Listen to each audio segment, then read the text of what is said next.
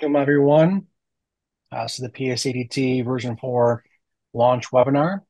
Dan, you want to get us started?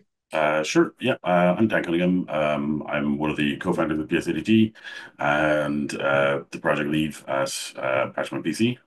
So I've been with this project since, I think it was 2012. It's been around a while. So yeah, uh it's been it's been a fun ride, and we're finally at version 4. We've only been talking about it for eight years. Uh, so uh we're going to go through uh, just introductions of the the team. Um, we're going to go through just a little um, overview of PSADT 3 and where we're coming from with the upgrade to V4. And Then we're going to delve into a lot of what's new. Uh, there is a lot, and we have quite a bit of quite a lot of demos as well. We do have quite a bit of slides. Um, Uh, yeah, we'll just hold tight. There's a lot to get through. Um, all right. So uh, let's jump into the introductions. Uh, as I said, I'm one of the co-founders of PSADT, um, and I'm the kind of project lead at PatchMyPC, strategic innovation leader. So you can find me on Twitter, Blue Sky, or sorry, X, Bluesky. Mitch? No worries. Thank you. So my name is Mitch. Um, I'm relatively new to the PSADT team. Um, I sort of got in contact with Dan around March, April, um, with a few uh, patches and fixes to uh, PSADT 3 and um, eventually became a developer. So I've been working uh, closely with the team on the PSADT V4 release. My profession by day is a solutions architect or consultant, and you can find me on Twitter on the handle on the screen. However, I don't really use Twitter a whole lot. Hi, Dan Goff. I've been using the PS App Deploy toolkit for many years as a packager. Uh, having joined Patch My PC in February, and now I get a chance to develop and contribute to the code. And I also work on other internal systems and do lots of PowerShell scripting as part of my job as well in my everyday today. Hi, uh, Sean Lillis. I'm also a co-founder of PSADT alongside Dan. Uh, been involved in the project from inception some 11 years ago or so uh, to today. Uh, I'm an end user computing architect at Zurich Insurance. Um, yeah, really thrilled to be here today for the launch of V4. The team have done an amazing job on taking it to the next level. Uh, so can't wait for you to hear more. Hi, everyone. My name is Mo Mashwani. I joined the project, I think I was the third one on the team. It had already been underway for a few years when I joined it. I was in the endpoint engineering packaging space at the time, and it was a perfect fit as I was trying to replace WiseScript at the time. So uh, many, many years later, still working on it. And uh, honestly, besides all the time I spent with my two little boys, it probably just goes to here. Um, and if I wasn't doing this, I'd probably be reading books. So this is all my book reading time goes to PSADT now. There's that. Other than that, in my day-to-day, I'm a technical account manager at Axonius. And uh yeah, happy to uh, be here today, and uh, I hope you guys uh, like V4 as much as I do. Um, for those of you who don't already know, um, I'm guessing pretty much everyone here is here because they know what V3 is, but let's just kind of do a little recap. So, what is V3 or what is PSADT? Next slide. It is um, essentially an open source PowerShell framework for creating application deployment scripts. Um, it consists of a standardized workflow for application installs or uh, uninstalls or repairs. Um, it uh, allows you to encapsulate a pre-existing vendor install and to add new steps to the installation process. Uh, so like performing tasks before or after an install. It allows you to provide enhanced installation capabilities, so uh, user interaction, automated logging, things like that, um, and standardize on your application deployments for any given uh, organization. Uh, it's uh, basically it consists of a, a, it also consists of a set of easy-to-use functions um, to simplify common deployment tasks. So that's it in a nutshell. it's also integrates with a lot of third-party tools. So First up, Scappman, which is part of the PatchMyPC family. Master Packager, which is a great user interface for it. Flexera Admin Studio, InstallShield, Robopack, there's uh, quite a number of uh, different integrations that uh, have popped up over the, years. So uh, it's very well known and used uh, in the community. When we started on the kind of V4 track, uh, we were V3 was basically built around Windows 7 timeframe. Um, it was built for PowerShell 2, I think initially.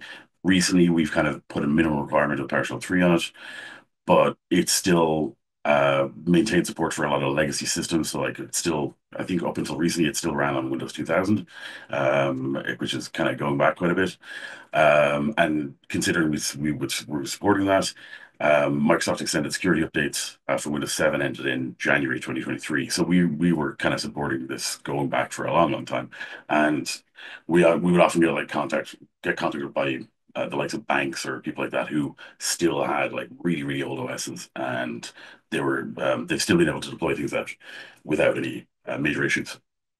Uh, so, but in, in keeping it to support old versions, we've not been able to take advantage of new capabilities in the operating systems, in hardware, uh, in PowerShell itself.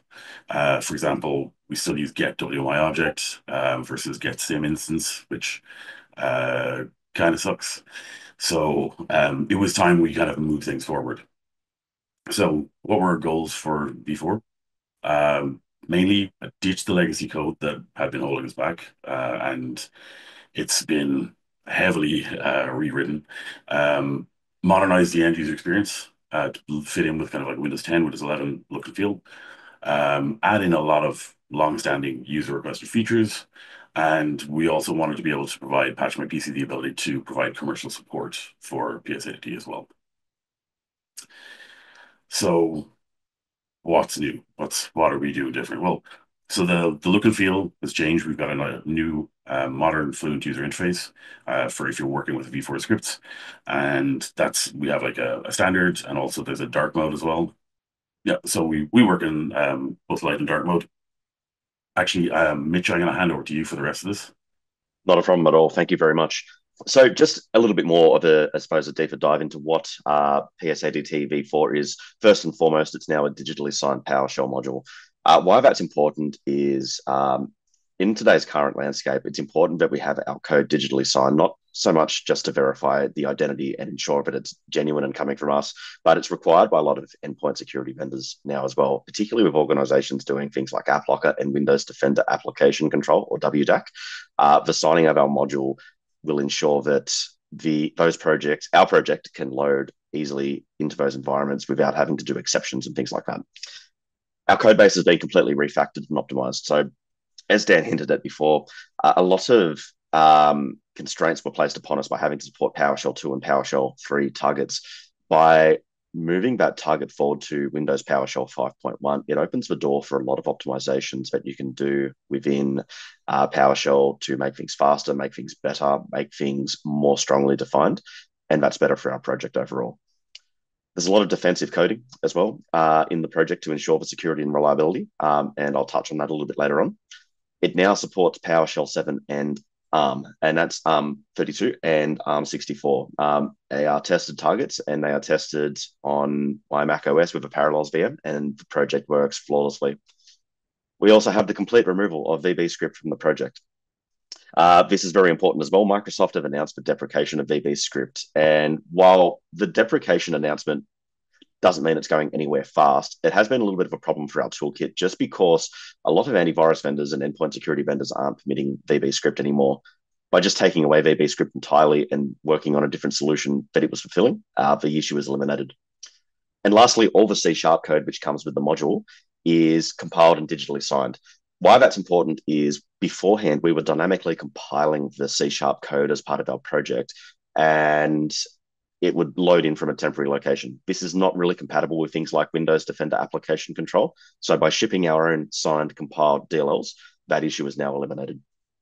And lastly, um, a largely requested feature is Wim support. Uh, we have, uh, not only do we have Wim support, we also have zero config Wim support. So uh, that'll be demonstrated a little bit later on in this presentation. But what um, zero config WIM file support is going to give you is you can have your WIM file directly in the files uh, folder of your deployment. It will automatically mount And if it has an MSI within the WIM file, it will then zero config detect that MSI and just run. The dismounting and cleanup of that WIM file is completely automated. You don't have to think about it. But of course, if you want full control, you're able to manually mount and dismount WIM files also. Uh, moving on to what else is new, because yes, there's a lot more.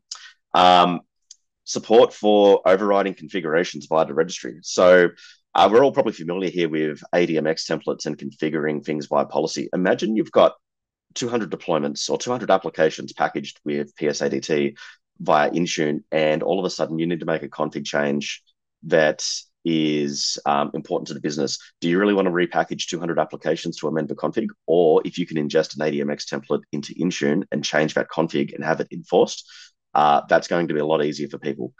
Uh, the ADMX template will come following the release, um, and we hope to get that out soon. The next thing on a bit more of a technical detail is we now support uh, a lot of PowerShell standard um, standards a lot better. So previously uh, we had conventions like uh, continue on error, which you could specify as true or false.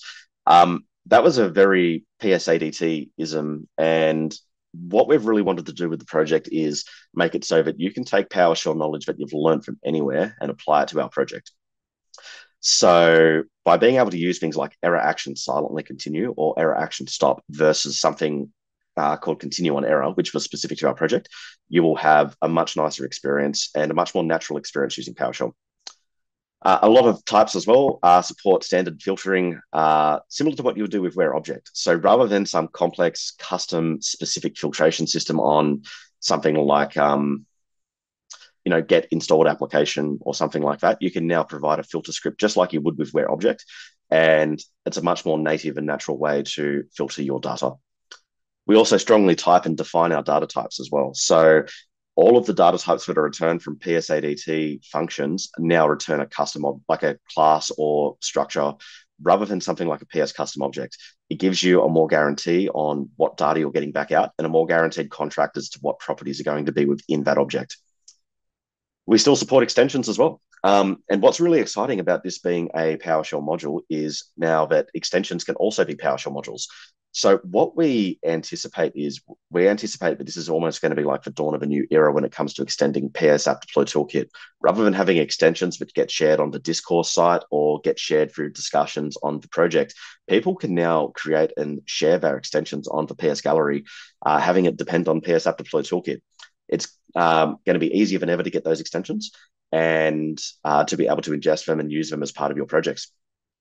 We also have some really cool stuff for extensions as well, um, such as custom action support for extensions. What this means simply is you might have an extension which um, allows you to send an email at the end of a deployment or something like that, rather than creating the extension and then having your end user have to put in hooks into their deployment scripts. You can say on, on project close or on session close to actually do that email function so that people can start using and consuming those extensions without really having to edit their deployment and add lots of hooks into it. By you as the extension author adding those hooks automatically, you make it a lot nicer for your users and stuff. And lastly, despite all of these changes and everything we've done to bring things forward, we have full backwards compatibility with these three deployment scripts. So right now, while you can uh, deploy PS App Deploy Toolkit using the new templates and new methodologies, which we're going to get into, you can take your existing script and it just runs. Um, some of the things around our module and our resiliency and why the module's been important to us and what we've been able to do with it is an object-oriented design to encapsulate our deployments. So previously, um, as we know, um, PS App Deploy Toolkit would uh, dot source in App Deploy Toolkit main, and that was basically everything was kind of just there uh, uh, on the stack in PowerShell, and that's how things operated. What we've done now is the variables that constitute a deployment. So they are things like app name, install title, all of these things, dir files. These are all now part of an object, which uh, means you can have multiple objects as well. So by allowing this, you can potentially have custom scenarios where you might have one deployment script that can have seven independent sessions, which do execute in parallel, but they all have their own logging. So rather than having seven applications you have to chain in Intune, you can then scriptify your one workflow, have it log to seven different outputs, if it had seven different dependencies and everything else to really support what you might want to do as a, uh, a packager. Uh, we also internally in the module have an immutable command lookup table. Uh, why this is important to us is um, PowerShell, it's very easy to spoof uh, functions uh, within um, the console. So you can redefine things like write host, you can redefine other functions. By having an immutable lookup table, that means that our functions will um, always be guaranteed to be called the original Microsoft one or our own functions. We also code in PowerShell's strict mode and we use V3 at the strict mode compliance level. Uh, V3 is the highest level that Microsoft provide for strict mode. And what's important with that is it really takes out a lot of the um, a lot of the undefined behavior of PowerShell. So it guarantees to us that we've got a more guaranteed, more robust, more reliable outcome because we uh, have better null checking and other types of checks. We also have a lot of performance optimizations because we're using more modern and efficient object types. These are very important uh, to us to make the project faster. And it's one of the things that getting rid of the baggage from PowerShell 2 has allowed for us. And lastly, we build via a CI/CD uh, pipeline system for code validation. It does linting, it does our unit testing, it does document generation, and it does a lot more by having a build pipeline rather than a manual release cycle, it really automates the, the process entirely. It ensures a guaranteed outcome and ensures consistency between releases uh, because a lot of people do depend on downloading the latest release and having it be in an expected format. This really assists with that. Um, and it's already been production tested. So at my previous employer, I had uh, an early version of V4 deployed to around 200 workstations and had it doing production workloads for that client. Um, I believe some of the other gentlemen on this call have also done some testing within their own workplace as well. So not only are you getting a brand new refreshed PS App Deploy toolkit, you're getting something that's already been put through its paces.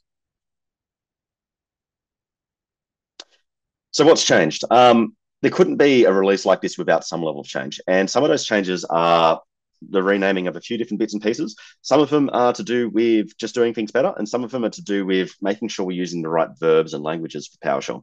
So previously we had deploy dash application. This is now called invoke app deploy toolkit. Um, invoke is a standard PowerShell verb, and we want to make sure we're using the correct verbs for everything we do in PowerShell moving forward. The configuration, we previously had an XML file which uh, had everything in it. It had the config, it had the strings. It was this really long file and um, XML is it was the right thing to use at the time, but it's probably not the right thing to use today. We now use PowerShell's um, data file format, which is PSD1. This provides um, a native mechanism in PowerShell to have our config with comments and everything that we need. And it also works very well for our strings um, so that the right language can be picked. It takes away a lot of code that we need to maintain and just provides a better outcome. Lastly, um, some of our functions were fairly ambiguously named because uh, at the time there wasn't a lot of stuff out there that it could have conflicted with. However, things like copy file and write log, they're very generic. We now prefix all of our functions with the keyword ADT. So when you're using something like copy ADT file or copy ADT, uh, sorry, write ADT log entry, you know that you're using an ADT function during this time as well, we have also corrected some of the verbiage as well. So, uh, at the past, um, regrettably, we had something like execute process uh, to do things, and it doesn't highlight well in editors now that do syntax highlighting. It's been very important to uh, correct that. And by using something like start ADT process, it's a much more natural naming convention. It follows start process, which comes with PowerShell, and uh, makes it a lot easier for people to jump in and start using our commandlets. Um, other changes, um, we also had a lot of uh, parameters on functions which were booleans instead of switches. Um, this was done for one reason or another, but it's not um, it's not a very good way to interface with PowerShell, and switches are a much nicer way to do things. So we now have switches in place of booleans, and some examples of those would be um, if we you might have had something like topmost, and you might have had topmost true or false. Uh, this is now a single switch called not topmost, and by way of using a switch, you know that if the switch isn't specified, the default behavior is that it is going to be topmost. So it makes it a lot clearer as to what's going on under the hood without having to review the source code. Uh, we also had some really strange filter filtering systems for um, some of our functions as well. Uh, and these were done back in the day, but a lot more, a lot of people these days would like something more familiar, such as what you would do with Where Object, where you actually have a filter script. So we've removed MSI applications. Um, this has been a refactored function, and rather than doing something really complex like that filter application with the multi-dimensional array, you can now specify a very natural filter script where the publisher equals Oracle uh, and the display name uh, not matching Java 8 update 45. It's a much more natural way to work, and you're going to be able to leverage that to achieve your outcomes quicker and more easily. Uh, we also talked about the many commands using the continue on error. So just to highlight that again, uh, continue on error has now disappeared entirely. You can now leverage a uh, standard PowerShell convention such as error action. And what was confusing before is a lot of functions had error action as well as continue on error. So which one do you use? So now that's completely gone. And instead of doing something like continue on error, true or false, you can now do error action stop to have the error terminate the script and you can ultimately catch that and do something with it. Or you can have silently continue where the error that comes up uh, will still log to the log. However, it won't terminate the script and uh, your deployment will continue onwards. Um, with that in mind, I'd like to now hand over to Dan Goff. Uh, Dan Goff is going to be running through how you get started with our new project. And um, after that, he, I believe he'll be running some demos as well. Over to you, Dan. Yes, indeed. Thank you, Mitch. Good job. Uh, right. So as you can see, um, you can download the latest release from GitHub, which may not be there if you look right now, but it will be there very soon. Dan is currently working on uh, just finalizing the last bits of the release. Um, but you can actually go to the GitHub page and go to uh, switch branches to the develop branch, and you can get an early sneak uh, look at what's there. And you can download that and you can import from the source. Um, as well as just downloading the zips from the GitHub repo like you're perhaps used to with V3, you will be able to install it from the PowerShell gallery with uh, an install module command. Uh, again, that's not up there right away, but it will be up there very soon. Uh, I, if not today, it will be up there tomorrow for you guys. Once you've imported your module, if you want to create a template ready for you to start putting your installers into and editing your deployment scripts, there's a command new ADT template, which will scaffold out the whole folder structure for you. You can give it a name, which will be the name of the folder. You can give it the destination. And if you add the show switch as shown on there, it will pop the folder up for you in Explorer ready to use. Um, so you can see on screen, we've got invoke deploy toolkit exe now, which replaces deploy application. Next to that is the PS1 script, which is the script that you will edit for your uh, deployment. Files and support files folders, which uh, you will be used to from previous versions.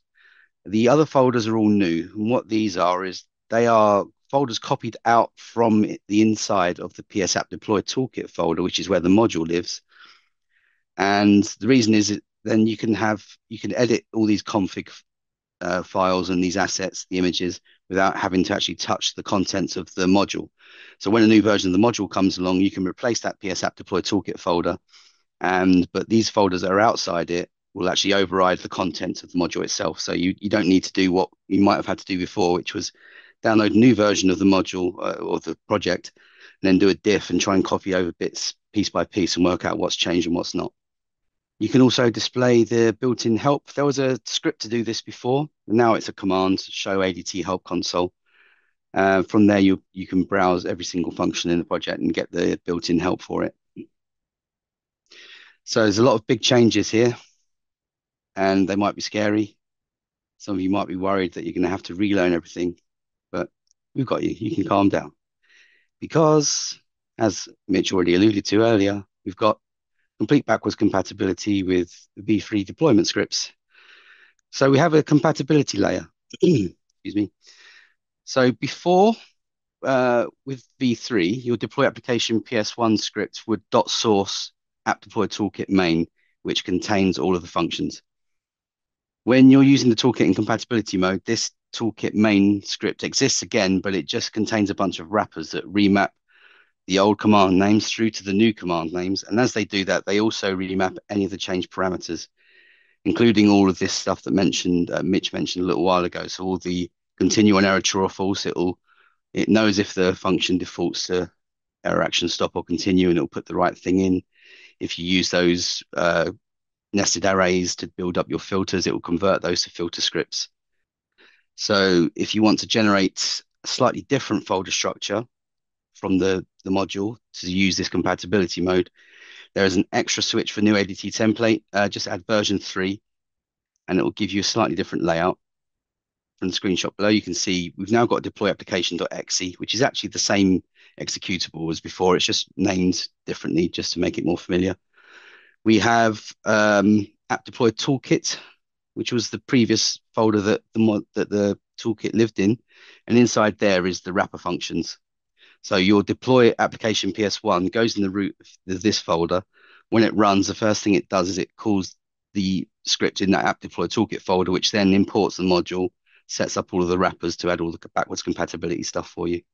So not only that, we've got some commands that can assist you with migration. So you can run test ADT compatibility and give it the path to your old deploy application PS1 script, and it will give you a detailed report of showing you line by line which commands have changed, what you need to change them to, which parameters have changed, and what you need to change those to. And variables as well, because some, some of the variables need to be accessed slightly differently. Uh, convert ADT deployment does something very similar. It will actually not just uh, report on those changes, but it will fix the script for you.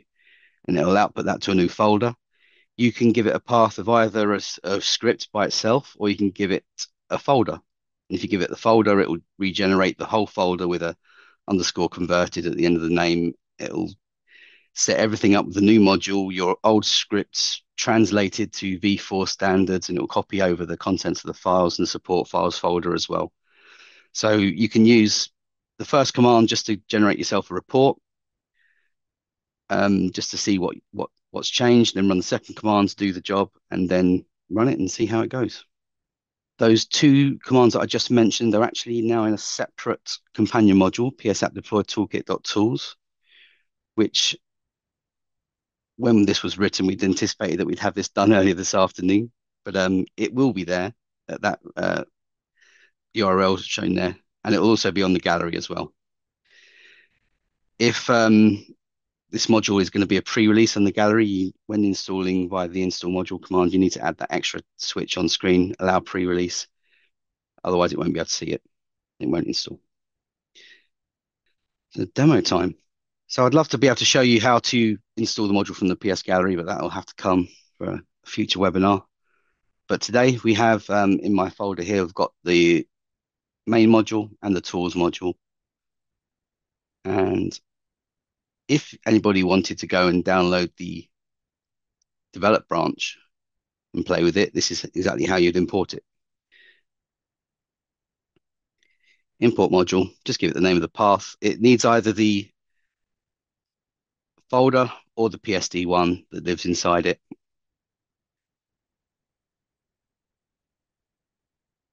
Import module, and let's do the tools one too.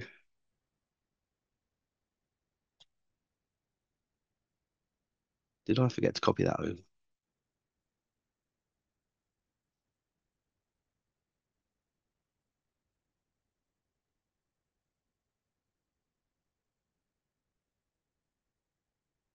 Aha, I reverted my machine.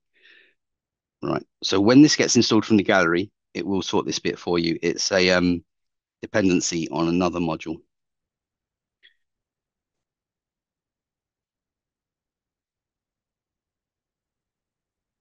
So PS Script Analyzer, you may be aware of it in if you've installed VS Code because it comes with that. It does syntax highlighting. It tells you about errors in your script, and that's the engine that we're using to um, detect and correct an update from V3 to V4 syntax. Some custom rules.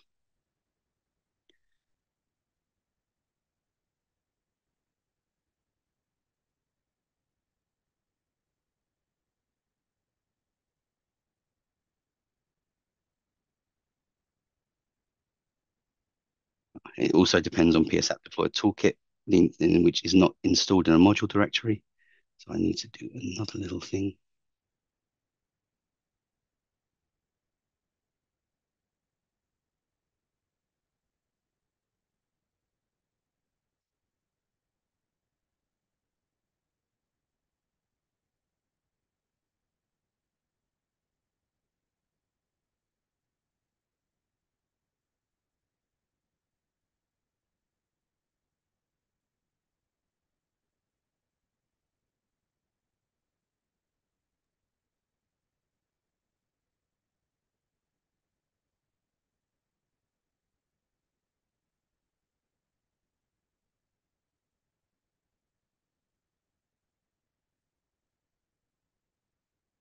Okay. Let's just go into the main toolkit module. And I'll see if I can get that fixed while uh, we have another demo after me. Should we go to the other demo and then come back to the stand? No, it's fine. I've got plenty to show until that point. So let's just go into Okay, this. perfect. So we've got the module installed. Um, I can now see what all my commands are. So the module is imported. We've got all of our commands. I can show the help console.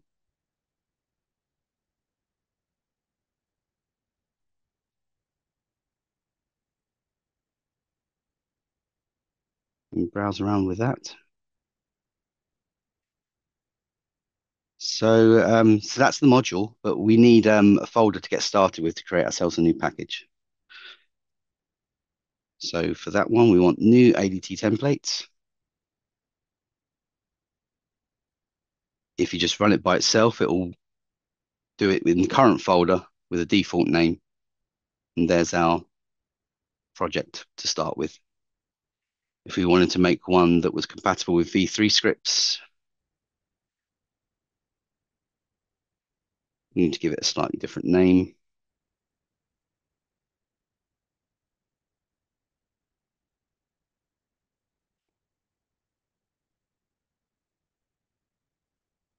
And now this has got deploy application in there as well.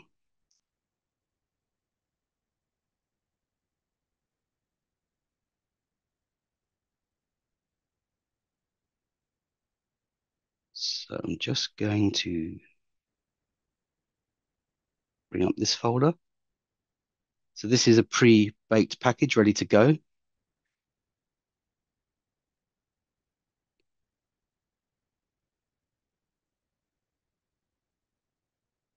Let's have a look at what's inside.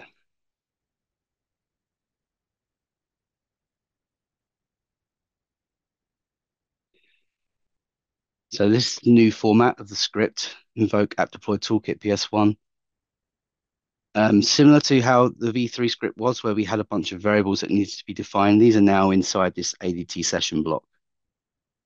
So these are all blank by default. You need to fill those values in. And then we have a bunch of sections, slightly different layout before. Now they're in functions, but you have install ADT deployment, which is where you put all your commands to your installation.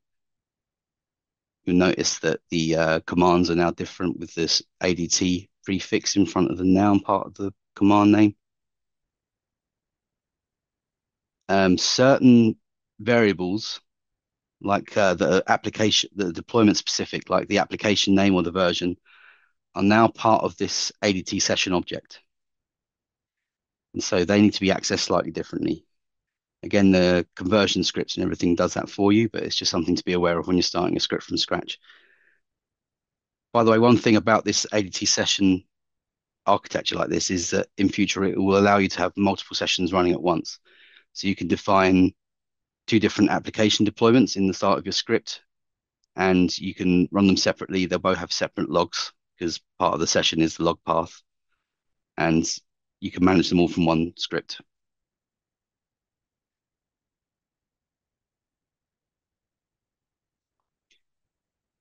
We just double click this.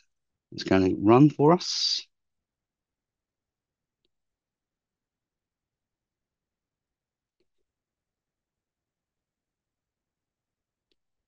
There's a new user interface. Unfortunately, not with all the nice transparency effects because I'm running in a Hyper-V machine.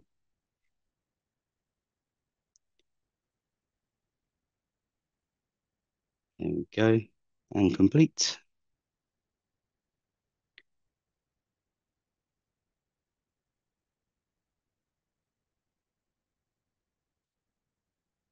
We have VLC installed and now we're removing it.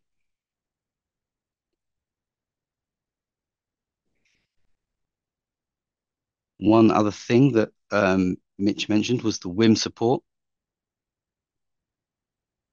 So we have a WIM demo here. This is literally just an empty uh, folder created from new ADT template. And all I've done, I haven't edited any of the PowerShell scripts. I've dropped in a WIM file And you can create these with uh, 7-zip or NanaZip, which is fork of 7-zip just with a nice UI. And it's basically a zip file. Uh, the reason a lot of people have uh, grown accustomed to using these WIM files with the toolkit is because um, Configuration Manager takes a very long time to transfer lots of separate small files across the network. If you've got a large package like MATLAB or one of the big CAD packages, it can take forever to transfer, but it's a lot quicker if it's one single file. And using a zip file is isn't the greatest because then once you've got that zip file delivered to the endpoint, you then got to extract it, which is waste a load of disk space and CPU doing all that. The WIM file gets mounted and you can just use the contents directly. There are commands to do the mounting, such as mount ADT WIM file, image path. Let's give it that one.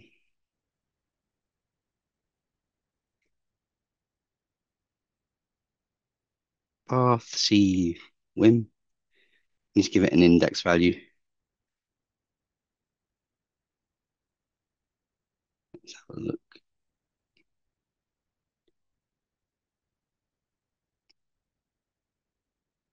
And there is our file.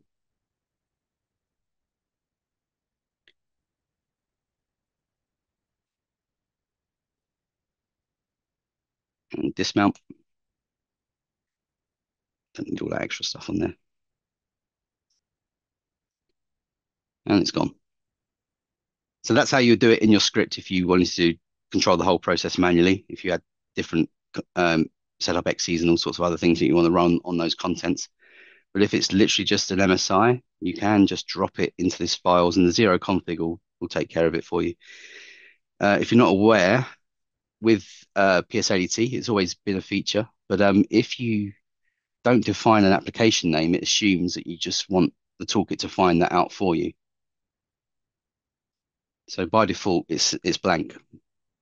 And when it encounters that, it thinks, okay, I'm going to go and inspect the contents of the files folder. If there's an MSI in there, I'm going to analyze that and get the, the pull out the name and the version and everything. And it will now do extends that to the WIM format. So if it finds that, it will automatically mount it, search a new folder for the MSI. So we can just run that. Should see a pop-up. It's pulled out the details of the package.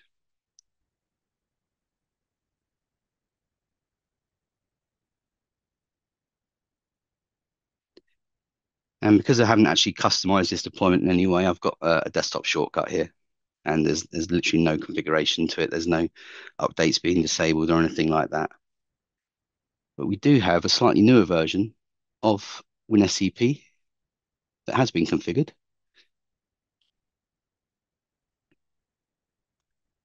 Um, so this one set up to close the application if it's in use. And after it does the installation, it sets a bunch of registry keys for each user on the system. So let's test that out. We'll get the application running.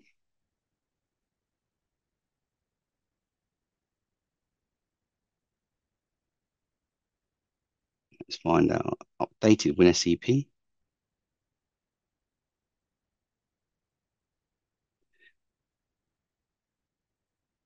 And this is the updated close applications or defer dialog.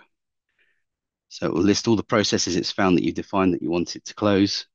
And you get the option to defer for a later time or close apps and install, which will just close them automatically.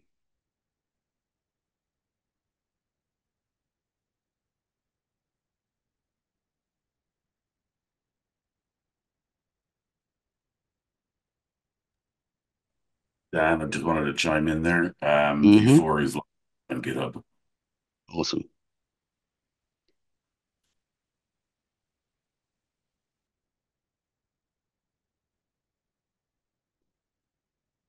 I'm going to remove the apps as well, clean up as I go along, because I'm going to be demoing this in a few different ways.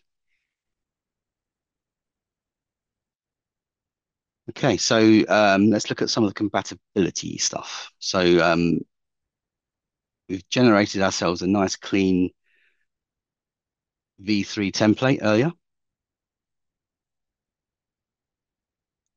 And I have over here a old v3 um, deploy application PS1 script.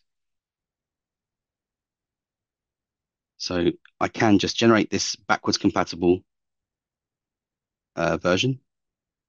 That shouldn't be in there. So I need to go into my files folder. Let's copy, let's just copy over the files, support files and the PS1. They're the important bits. Just put those straight over here. And just to peek inside this folder quickly.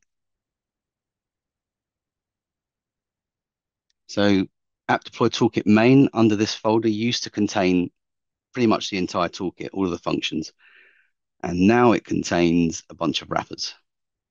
So I'll just pick one at random. So this is the old function name.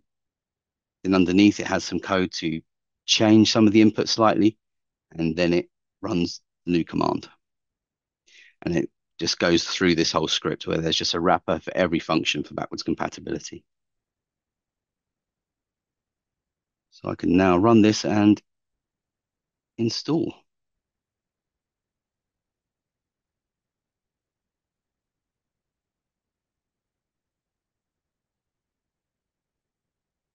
Yeah, we have an issue.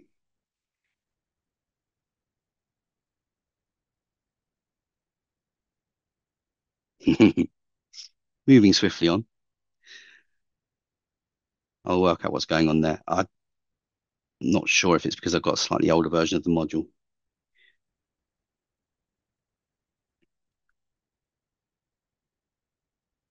So some other things that we can do. A couple of new features which I don't think we actually touched upon.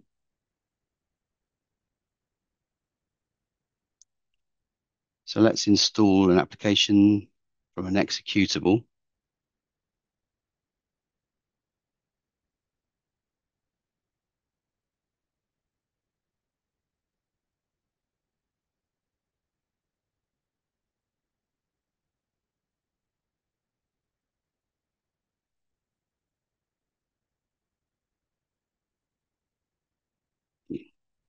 It's the old one.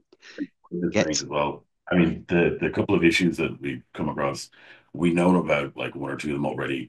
There's uh, we're probably going to have a, a, point release out within the next few days. Uh, but you know, there's it's everything is very very usable right now. There's a, a couple of just fringe scenarios, uh, but everything's looking pretty stable. So the previous command remove MSI applications, it was pretty apparent from the name, it could only deal with uninstalling MSI applications. Now we can remove any type of application. So, so remove ADT, oh no, it's uninstall, sorry, uninstall ADT application. We give it the name VLC. Now I'll just run this uh, without any further information. You can see what is going to happen. It's not going to be ideal.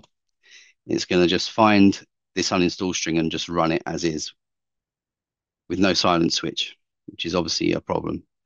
But if you research in advance, you know what this switch is going to be.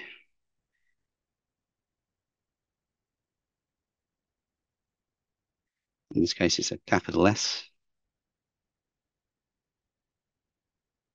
It will just work.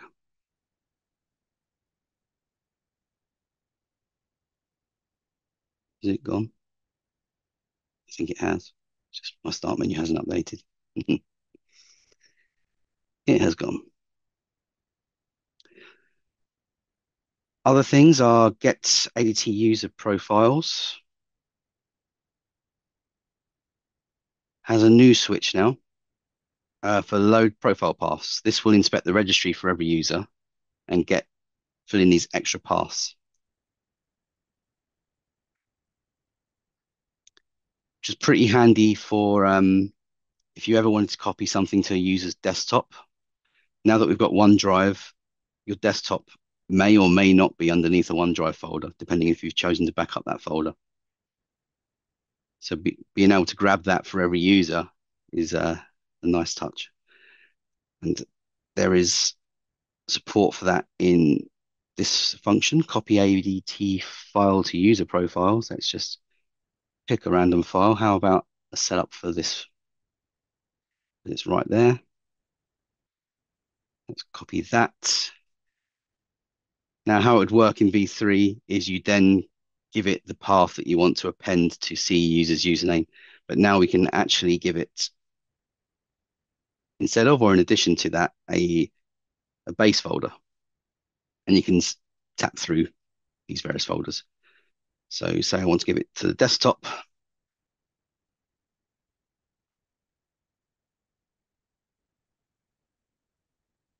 And it's copied it to my desktop up here.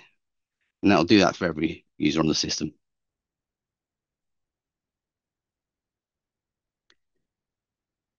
And that's all the working demos that I've got for you right now. The release is now live up on uh, GitHub. If you guys want to go and download it, um, it will be installable from from the PowerShell gallery as well directly. Uh, you can just run install dash module a little bit later today, uh, not right this second because we we just hit a minor snag before we started this, uh, but uh, we should have that up there in a couple of hours. I'll also send a Um, uh, email afterwards if it's something that's after today where it's live. Dan, um, we can feel we can email everyone when it's live and a link. Yeah. For sure. Actually, it's um just worth pointing out that the um if you go to the uh, uh, PS Deploy Toolkit website, you'll see uh, where there's now a new V4 section, um, which uh, will have all the documentation. It's we're we're kind of building it out uh, bit by bit. There's still a bit of a couple of sections missing, but we're gonna have them done over the next couple of days. Uh, but there's a ton of information up there already. As well as that, on the main page, if you scroll down to the bottom, there's an option to uh, sign up for our newsletter. Uh, so we'll be sending out some um, more details uh, as you know we come across or as we release new versions and um, as there's new uh, extensions built out as well. So uh, yeah, sign up there. Uh, to kind of show up a little bit what that is, uh, up top here on the website, we have version 4.0, 3.10. Uh, this newsletter is something that you can sign up as Dan, as Dan was mentioning. Uh, the docs and the features updated some of this as well, did we not? Docs, references. Yeah, so that's the V3 stuff. If you switch to V4, you'll see you've got all the new functions there and more ops details being added. with it. Yep. Uh, now we would like to hand over to our friend Ed uh, from Master Packager, and they've been cooking up something uh, Yeah. work with V4. Okay, thank you, Dan. Uh, first of all, I would like to thank the Patch My PC and PSADT teams for having us in this webinar. My name is Edijs Perkums, and I'm a co-founder of uh, Master Packager. I have been working as an application packager for the last 10 years, and I have delivered about 8,000 signed installation packages in this time. I would say about half of them have been using PSADT. So we really thought that uh, we should automate part of this stuff to make it easier for ourselves and others. So we decided to create an application called Master Wrapper. Uh, what is Master Wrapper? It is a part of Master Packager. Uh, and Master Packager is a set of tools uh, used for application by application packagers or IT pros who deal with application management. Uh, but today I will only focus on Master Wrapper. So the current version does not yet support uh, V4, the public one. So, but we will release V4 support soon. So keep in mind, I'm showing uh, you a pre-release build today. And uh, so without further ado, let's dive in to move this. Okay, so uh, when you open up it up first, it will allow you to choose either to use the new V4 template or V3 template. So uh, in this case, we will select the new one, V4. You will be greeted with the same old UI that you used for V3 if you have used Master Wrapper before. What this is, is basically a user interface that writes the code for you. So you don't need to know all the new functions of uh, V4, you don't need to know the new parameters, etc. You use the same UI that you're used to. So first of all, we're going to have the general information. Uh, as Mitch mentioned, uh, uh, the ADT session variables uh, will be defined here. You can uh, either edit them manually or you can load it from an installer, an exe. It will load the icon as well. So just drag and drop it and it will work. Uh, you can also change the default parameter values from the script. It will also add a detection registry key automatically. You could choose can choose it to change it to a script or just remove it if you don't want to. You can also configure this in the settings if you don't want to add it by default. And as well, you can add some additional information like uh, notes. So if you had a hard time creating the package and you had to search for some guide how to create the package and you don't want uh, that knowledge lost, so you can save the link that you use to create the package uh, in the notes and the next uh, time your colleague is dealing with this package, he can open it up and he can see your notes.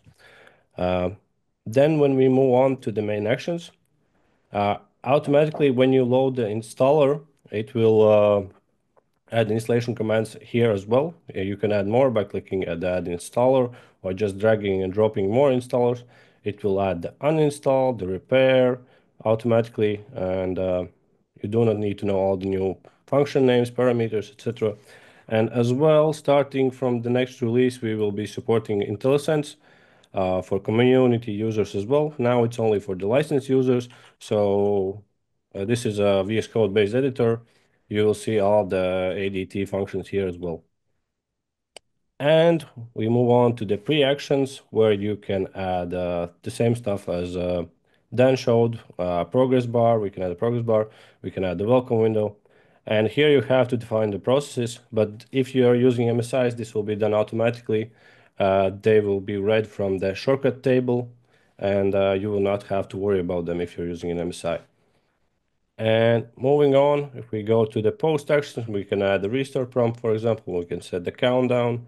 I can modify all of it. We will skip the upgrade section for today, but here you can see the full script editor, so you can uh, open it up and see everything that was changed. So we all added all the variables. We added the installation welcome, the progress, the installation, and the restart prompt. So everything is visible here. Uh, IntelliSense is supported, so all of this is working automatically and you did not need to read any documentation at all. And the last thing we have is uh, the configuration where you can set uh, all of the different config.psd1 uh, values. Also the new ones, as you can see, out-of-box experience, etc. So you don't have to read the config file and change it. You can just change it in this UI and uh, that will be it. So for example, we can easily change the icon and that's it. So let me quickly save this package to show you how it works. So it will ask you to open up the files folder so we can copy the installer to it. So let's just copy it. And let me run it as an admin. So uh, I saw now, while it's uh, starting to run in uh, the chat before, there was one message that said it's going to take time for us to relearn everything. If you have been using Master Wrapper before, you don't have to relearn, relearn every anything. It will just work automatically the same way as it used to before. As you can see, uh, it uses the new icon and everything is working correctly.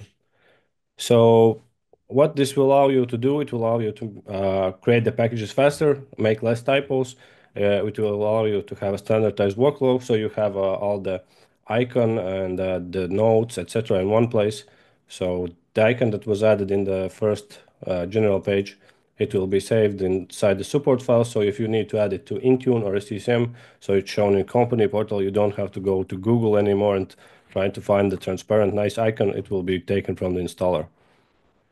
And uh, if you want to try it out for yourselves, you can go to our website, masterpackager.com.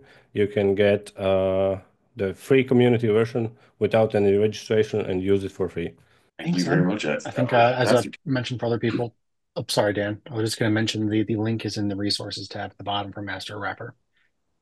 Go ahead. Corey, I fixed something that was broken earlier so I can. Are you are you requesting another demo? Is that what you're saying? I am requesting another demo. That is what I am saying. Awesome, perfect. Yeah, uh, I say we go for it. All right. So this is the PS App Deploy Toolkit .tools separate module. Um, I just got it to work by just putting both of the modules straight into this Windows PowerShell modules folder so that it could automatically load properly. So the tools module depend has a dependency on this, so it needs to locate it and be able to load it automatically. So the first of the two functions was test ADT compatibility. File path. So this is the deploy application script from an old V3 version of the VLC package. So if I just run it as it is, it outputs a bunch of stuff. This is the raw output from the PS script analyzer. So all the stuff that's useful is, is squished over to the right hand side. But we can format that output slightly differently. If we say table, it will just give us the important stuff into a table like this. So now we're spreading out more of the information across the screen, which makes it easier to read. And we can also pump it to a grid view. So then you can just keep this and refer to it if you want to go through and check out some of your script. So some of the details here, you can just see execute process is deprecated. Now you start ADT process instead. Path, the very the parameter is now file path. Parameters is now argument list. These parameters have changed that they more closely follow the start process, the native PowerShell command, rather than just using something that's different. If you're used to using start process, the PowerShell one, and then you get confused, and it's easier that everything matches. And continue on error true is now error action silently continue, and this goes through.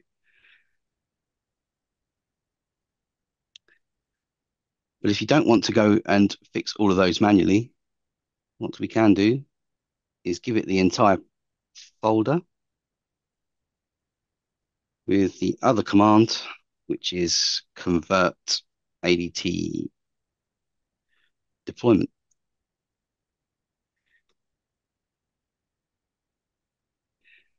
And if you don't, you can give it a destination and everything, but if you don't, it'll just use the same folder where it is right now and with an underscore converted at the end of it.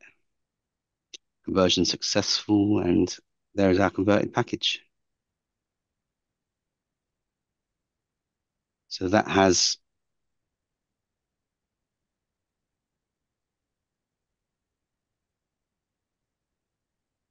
Let's go to VS Code.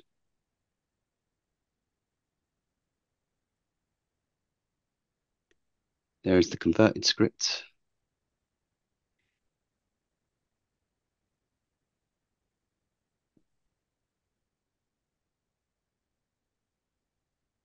Yeah.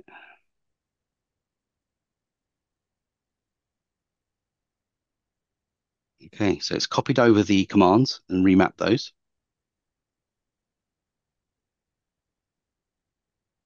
And it should have also done the variables at the top, but, but because of the uh, an issue that we were having earlier, it's it's the same bug, and I have had it. Uh, I have had word that it's already been fixed and already committed, but um, it will update all of these variables as well, which will make the whole just script just work out of the box. And it was working earlier today. We stuck something in that broke it, and it's fixed already. But the uh, these two, the combination of these two tools is going to greatly help you make your migration over to V4. And thanks, that's it from me. Um, thank you everyone for attending. Um, we're blown away with the support um, that we get of this um, from the community every single day. So uh, thanks for coming. Yeah, there was a huge turnout here. Uh, so awesome. Thank you all. We'll get to work on fixing the last minute bugs that were uncovered and uh, get the module up be there. There'll be a, a module uploaded to the PS gallery very soon. Yeah, keep an eye on social media. Yes. Thanks, everyone. Yeah. Thank you, everybody.